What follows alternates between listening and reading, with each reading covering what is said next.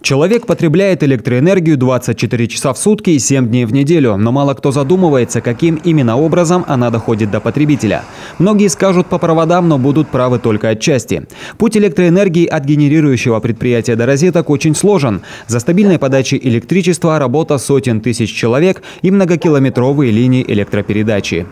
Цены растут и на продукты питания, и на все, да, а в том числе и тарифы должны расти. Это, наверное, по понятию, по понятию инфляции, понятие всего, если э, амортизационные и так далее, и так далее. Параллельно э, должны э, расти и зарплаты.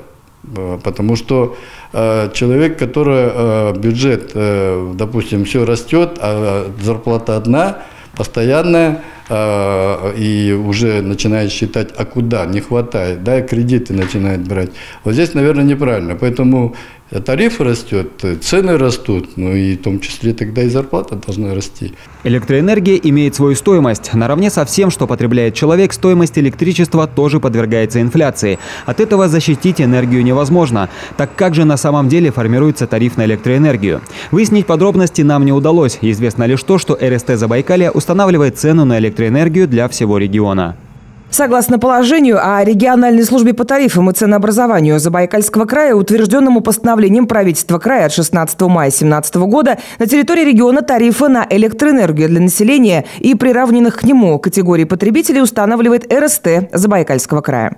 Причем отметим, Забайкальский край – один из первых регионов России, в котором была введена социальная норма электроэнергии для потребителей. Проект, который был по социальной норме по э, энергетике, оно было принято э, положительно первое время. В данный момент она играет э, как бы э, уже отрицательную роль. Почему? Потому что перекос пошел. Перекос, то есть получается население платит из-за вот этого социального проекта сумма, которая не растет и не росла, чуть по, ну, не такими темпами, а вот остальные, бизнес, там все остальные, это тарифы, они возрастали кратно.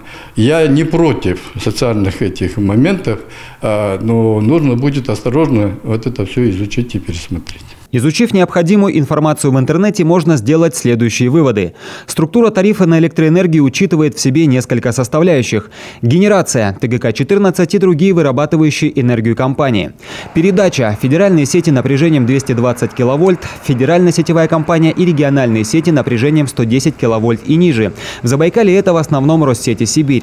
Избыт, расчеты за потребленную электроэнергию, услуги чита энергосбыта. Разобраться во всей этой системе очень сложно, но на примере одного рубля объяснение вполне понятное.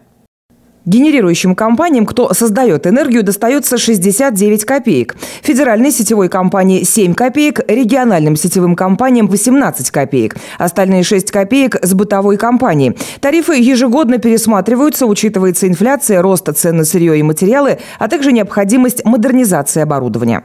Проанализировав данные, которые легко найти в свободном доступе в интернете, можно представить, как изменялся тариф на электроэнергию за последние годы. Какие энергетические компании-монополисты сумели отстоять свои интересы и получить заветное увеличение тарифа, а кто оказался аутсайдером. Нечем похвастаться только сетевым компаниям. За последние три года они лишь теряли свои позиции. Немного удивительно, ведь хозяйство сетевикам досталось самое неспокойное. Тысячи километров линий, прогнившие и покосившиеся опоры в глубинках региона, необходимость строить новые энергообъекты и присоединять новых потребителей. Конец года – самая горячая пора для всех ресурсоснабжающих организаций. Именно сейчас решается, сколько будет платить потребитель той или иной категории за разные услуги. Энергетики часто сетуют, что они вспоминают только тогда, когда когда происходят аварийные ситуации, но редко благодарят за ежедневный труд, незаметный простому потребителю. Время принятия тарифов – еще один повод вспомнить, кто и что делает для того, чтобы в наших домах было тепло, светло и комфортно. И пока кажется, что обещания губернатора Осипова заморозить тарифы и избежать наценки остаются только обещаниями. Виктор Соловьев, Евгений Погорелый, Николай Шунков, ЗАП ТВ.